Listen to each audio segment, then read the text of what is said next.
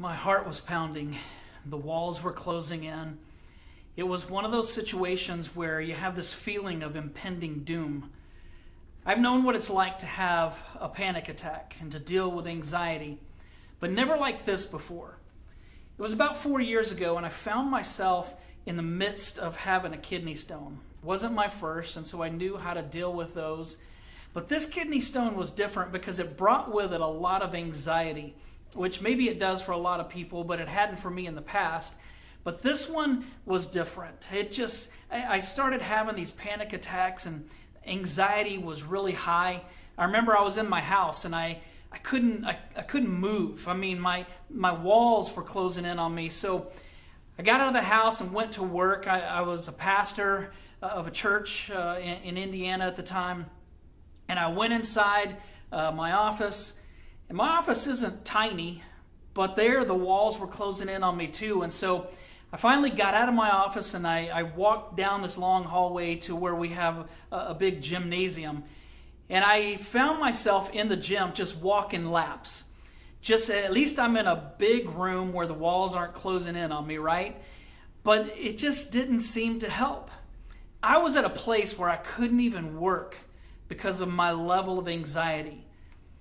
Within a few days, I passed this stone, but the anxiety stayed. And I dealt with it for months and finally started talking to a counselor and eventually just started working through some things on my own.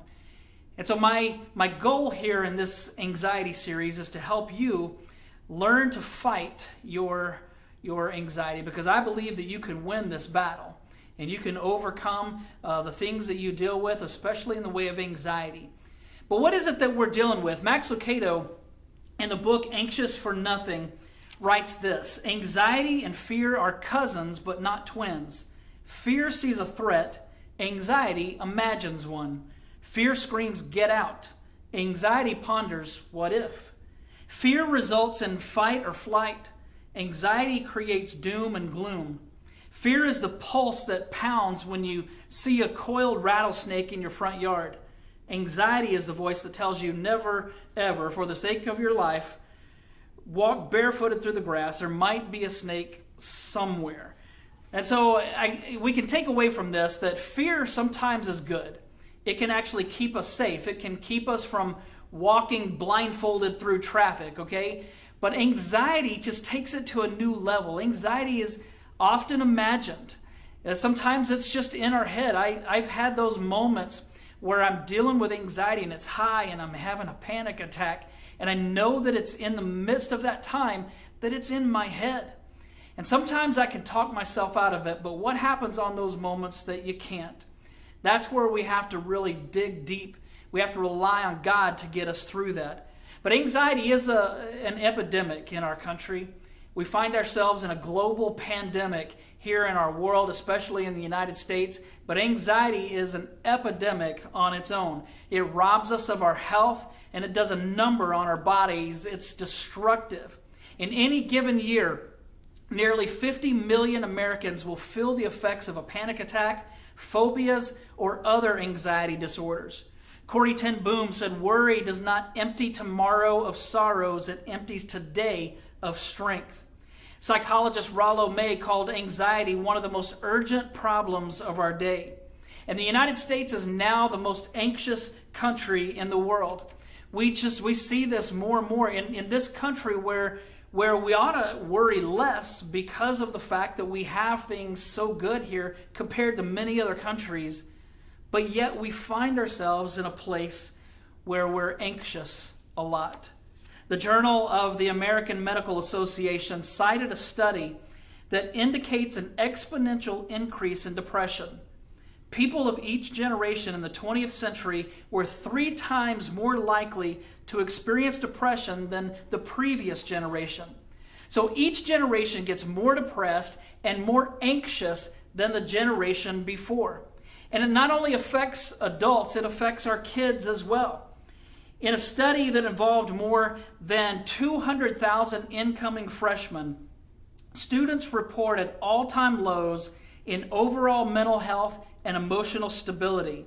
And as psychologist Robert Leahy points out, the average child today exhibits the same level of anxiety as the average psychiatric patient in the 1950s. Think about that. This is our kids. What they're struggling with today is that the, the average child, uh, their level of anxiety today is on par with the average anxiety level of psychiatric patients from the 1950s. This is an epidemic. And if you're watching this, then I would guess maybe you fight your own battles with anxiety, or someone that you know and someone you love does. And so I hope that over the next six weeks to give you the tools to help you win this fight with your anxiety. So, what's causing this? Well, for starters, we're in a global pandemic where people are worried about their health, worried about finances, worried about jobs, worried about family and friends. We just came off of the most contentious presidential uh, election in history. People are picking sides. There's, and, and right now, there, there's a hurricane hitting South Louisiana. There's chaos in Afghanistan. Our world is in a bad place. But there's a lot of change that takes place as well. And sometimes it, it, it, seems like it's good, but it actually in turn turns out to not be so good.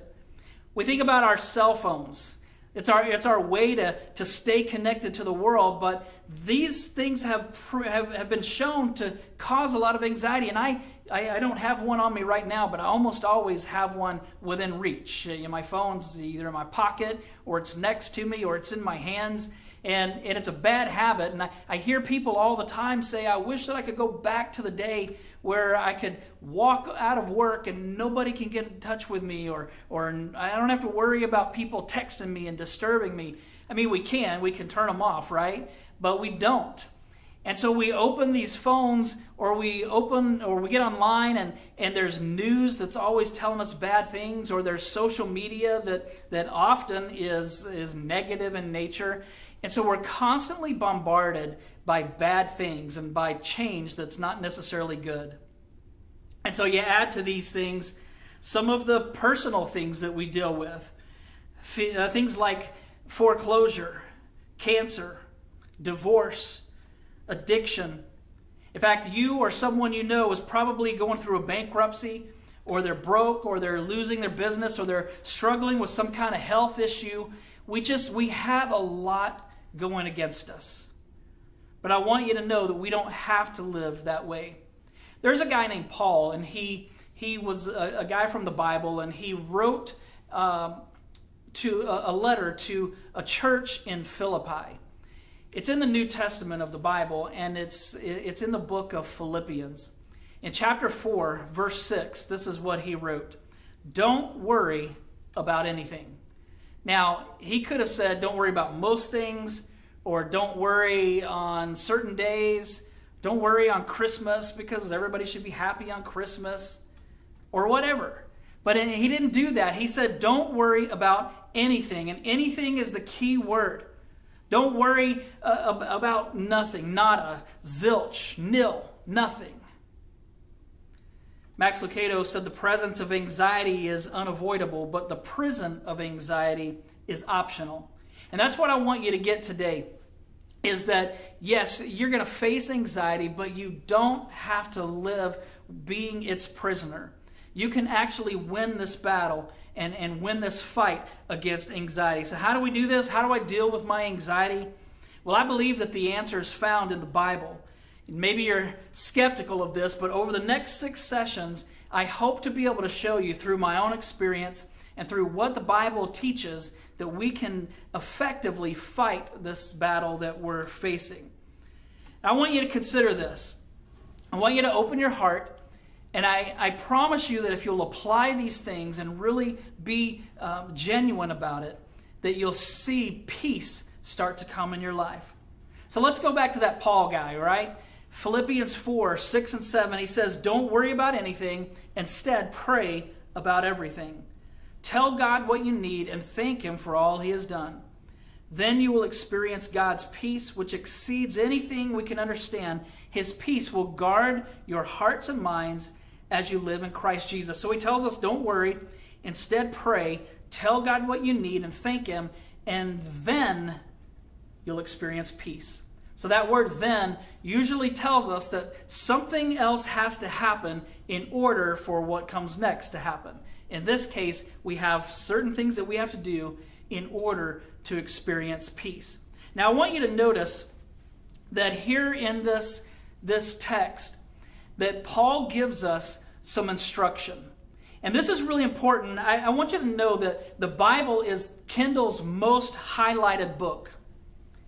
And the most highlighted passage in the Bible on Kendall is Philippians 4, 6, and 7, which we just read. And so, what that tells me is you're not alone. You're not dealing with this by yourself. There are many other people that are dealing with this in the same way. And so we can ha- we can find the help and the peace that we need, but it's going to take stretching a little bit. It's going to take trusting maybe in some things that you're not used to trusting in and, and putting our faith in God, our shepherd. We'll talk more about that in a little bit. But I want us to notice a couple of things. In this verse 7, where Paul writes that the peace of God will guard two things. He says it will guard our heart, which is our emotions and attitudes, and he says it will guard our mind, which is the center of our understanding and decision making. So think about that. The word guard is a military word, and it's it's, uh, it means to build a fortress around, to place guards on the walls uh, in order to protect whatever's inside. And so it says that the peace of God is going to build a wall around or guard what's really precious to God, and that's our heart, which is the center of our emotions and attitudes, and our mind, which is the center of our understanding and decision making. Because if God has control of our our heart, which is our emotions and attitudes, and if He has control of our mind, which is our understanding and decision making, think about that. If He has control of that, then He can help us overcome our anxiety. So, in this series, starting next week, we're going to look at Psalm 23. This is probably the most famous and most loved uh, passage of Scripture in the Bible. You no doubt have heard it somewhere, maybe at church or maybe at a funeral, or maybe you've read it on your own. But it's, it's a very famous passage and it paints God as our shepherd. And so, what we're going to learn is that when we learn more about the shepherd, we can actually begin to experience peace. Because learning about him gives us the assurance that everything's going to be okay. But in the meantime, that's going to start next week. But in the meantime, starting today, I want to give you three things from this Philippians 4, 6, and 7 that we just read. I want to give you three things that you can apply to your life, and if you'll use them today, starting today, your anxiety is not going to go away. Life's not going to suddenly get a lot better for you, but you'll find some new strength and you'll be able to start fighting this battle. So let's look at this. Paul says that the first thing that we need is we need to be a person of joy. And I think that if you can be a person who celebrates, who, who is joyful, even in the midst of trying times, you can find that, that you can overcome a lot just on your own. In Philippians 4 4, this is what Paul writes to that church in Philippi. He wrote, Rejoice in the Lord always. I'll say it again, rejoice. You see, our attitude doesn't have to represent our circumstances. I think there's a difference between being happy and being joyful. See, if I get a new car, I'm happy. If I get a new refrigerator, a new microwave, I'm happy. But if my car breaks down and my refrigerator stops working and my microwave blows up, I'm not happy anymore because my circumstances have changed. But people who have joy, which comes from an inward, right relationship with God, aren't swayed by circumstances. So, so we may sometimes not be happy, but we can still be joyful. And, and that joy, the Bible says, gives us strength. So, strength to face your difficulties, to face your anxiety. So, learn to be a, be a person of joy. I remember when I was a kid, and um, I, I, was in high school and I was dating this girl, and people were telling me that she was cheating on me, and, uh, and maybe she was. But Bobby McFerrin had this song, Don't Worry, Be Happy. Maybe you remember that. And, and it was, uh, When you worry, your face will frown. That will bring everybody down. So don't worry, be happy. And I remember thinking to myself, yeah, easy for you to say, guy. Your girlfriend's not cheating on you. And maybe his girlfriend was, or, or what, I don't know. But at that time, that was how I felt. And so maybe you're thinking about Paul here, that it's easy for him to say, Rejoice in the Lord always, because he probably had a great life. But he actually wrote this letter when he was in a Roman prison. And Roman prisons in those days were, were miserable places to be. Often the prisoner would be shackled or placed in stocks. They would be uh, forced to perform hard labor. They would be chained and beaten and underfed. Uh, they would be kept in dark and damp cells. But 15 times in the four chapters in Philippians, Paul uses the noun or verb words that come from the word joy. So even though he was in this miserable place, he still was calling these people to be joyful. And so I think this is your first step to go from being a, a glass half empty person to be a glass half full because God is in control and he's going to take care of you, uh, which we're going to talk about a lot over the next few weeks. The second thing is be at peace with others. I think it's impossible to be at peace, period, when you're in the midst of a conflict. And so, if you're dealing with a lot of anxiety and you find yourself uh, being someone who's in the midst of conflict, or maybe that happens to you a lot, maybe you're going through a divorce, or you're in kind of a bad marriage, or, or you're in a, some work relationships, or some school relationships that are bad, or you have some friendships that are bringing you down, or maybe there's unresolved conflict in your life, you need to get those resolved because this is going to be the best way for you to, to start moving toward peace is to get be at peace with others it's going to go a long way i, I heard somebody say one time regarding uh, when we don't forgive people uh, somebody said uh, that not forgiving someone is like drinking rat poison and waiting for the rat to die i mean think about that that's great advice for us because when I don't forgive, when I don't move on, when I don't when I don't try to resolve conflict, I'm only hurting myself. I'm not hurting someone else. And so resolve those conflicts as quickly as you can. It's going to be a huge thing. In Philippians 4 5, Paul says, Let your gentleness be evident to all. The Lord is near. That word gentleness describes a person who manifests a calm and fair spirit. So be that person who's calm who, uh, who is fair with others, who's good with others, and, and gentle. So be at peace with others. Number three is turn your worries into prayers. In Philippians 4 6 and 7, Paul writes, Don't worry about anything, instead, pray about everything.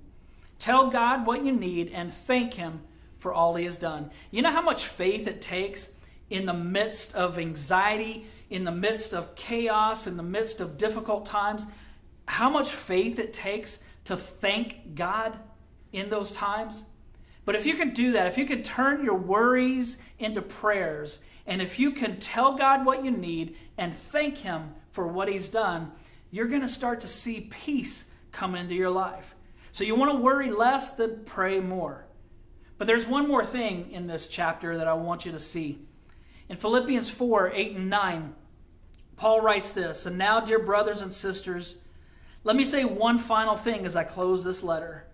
Fix your thoughts on what is true and honorable and right. Think about things that are pure and lovely and admirable. Think about things that are excellent and worthy of praise. Keep putting into practice all you have learned and heard from me and saw me doing, and the God of peace will be with you. So, what he's telling us to do is to take control of our thinking. If we can take control of our thinking, we can move a long way in helping control and, and win the fight of our anxiety. So here's what he says to do. And you could do this um, where you're at even now is make a list, like write out these words true and honorable and right and pure and lovely and admirable and excellent and worthy of praise. Write those things out and then make a list of, of what is true and what is honorable and what is right and what is pure. For example, is there anything more pure than, than holding a newborn baby? And so we can think of things like that, that, that, that, that are good and positive, and we can change the way that we think. In Philippians 4.13, Paul writes, I can do all things through Christ who gives me strength. And so I believe that you can overcome this. I believe that you can win the fight uh, with your anxiety. Back in the 1800s, a young Englishman went to California in search of gold. And after several months of prospecting, he finally struck it rich. He decided to head home, but before he did, he stopped in New Orleans just to kind of see the sights and look around. And as he was walking around, he came upon this large crowd that was all facing the same direction that he was walking. And so as he got closer, he began to be able to tell that they had gathered for a slave auction. Now, slavery had been illegal in his country for many years, and so his curiosity drew him closer as he watched one person become the property of another. Just as he reached the crowd, he heard the auctioneer cry out, Sold! And he watched as a middle aged black man was taken away. And next he saw a beautiful young girl pushed up on the stage and made to walk around. And all of the men in the crowd started whistling and making vulgar comments. So the bidding began. And it was apparent from the very beginning that there were two men who were really interested in her. They would outbid each other, and each time they did, they would kind of laugh and joke about what they were going to do with her and how the other person was going to miss out. And this young miner stood there silently as anger started to well up inside of him. Well, finally, one of the two men outbid the other, a bid that was more than what you would normally pay even for a male slave. The girl lowered her head in shame as the auctioneer called out, Going once, going twice. But just before the final call, this young miner called out a bid that was exactly twice the previous bid, way beyond what you would normally pay for any slave. Well, everybody started laughing, thinking that he was making a joke because he wanted the girl for himself. But the auctioneer motioned him to come up and show his money. And so the young guy walked up toward the stage and he opened up one of his bags of gold. The auctioneer shrugged in disbelief and he motioned the girl to, to go down with the man. And, and she walked down the steps until she was face to face with this young miner. And she got in his face, she, she spit right in his face. And through clenched teeth, she said, I hate you. But he didn't say anything. He just wiped his face, paid the auctioneer, took the girl by the hand, and led her away from the crowd who was still laughing. He seemed to be looking for something as they were walking up one street and down another. The girl didn't really know what was going on, but finally the man stopped in front of this storefront. She didn't know what kind of place it was, but she stayed outside while he went in. And he went in and started talking to an older gentleman. She couldn't tell what they were saying, but at, one point she could tell that their conversation became heated. And she heard the older gentleman say, I can't do it, it's the law. She didn't know what that meant. But she watched as this young miner opened up his last bag of gold and dumped it on the counter. With a look of disgust, the old man grabbed the gold, went back to the back, and then he came out with a piece of paper that both he and the miner signed. The miner grabbed the paper and started heading out the door. The girl turned and looked the other way. She didn't even want to look in his direction. And he walked up to her and he held out the paper and he said, Here, these are your papers. You can go. She didn't say anything. So he said, Here, these are your papers. You're free to go. She said, I hate you. Why do you tease me like this? He said, No, no, no, no. Honestly, these, these are your freedom papers. They actually say you're now a free person. She took the papers and she looked at them, and then she looked at him and she looked back at the papers. She looked back at him and she said, You just bought me, and now you're setting me free? And he said, That's why I bought you. I bought you to set you free. And then she fell to her knees and, clutching onto his muddy boots, was heard to say over and over again, You bought me to set me free. You bought me to set me free.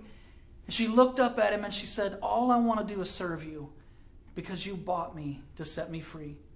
Listen, I want you to know that over 2,000 years ago, Jesus Christ hung on a cross and he died a cruel, agonizing, painful death for your sins and mine. And when he did, he bought you to set you free.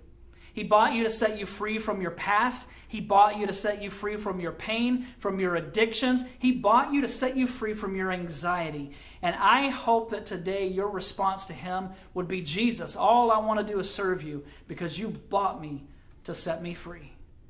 And He can set you free from the things that hold you down from those things that bind you. Are you struggling through anxiety? Here's good news. He brought me through it. He can bring you through it. And over the next six weeks, uh, or the next five coming after this lesson, I'm gonna I'm gonna walk you through how I overcame and what I learned. And I hope that in the same way that God delivered me from this, He can deliver you from it as well. Max Lucado wrote a prayer that I think is really fitting for this series. And I'll I'll close this down with, with this prayer. This is what he, what he wrote Dear Lord, you spoke to storms. Would you speak to ours? You calmed the hearts of the apostles. Would you calm the chaos within us? You told them to fear not. Say the same to us.